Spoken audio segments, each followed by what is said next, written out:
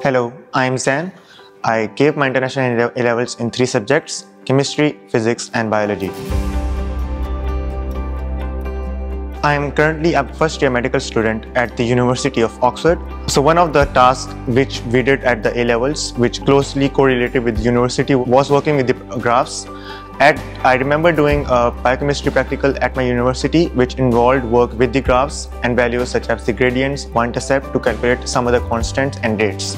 One specific topic which I covered in my A-level course, which was really beneficial for my university work, was probably about the cells and also its structure and its the many different reactions of the cell. So this saves us a lot of time at the university as you already have a very well-developed understanding about this specific topic.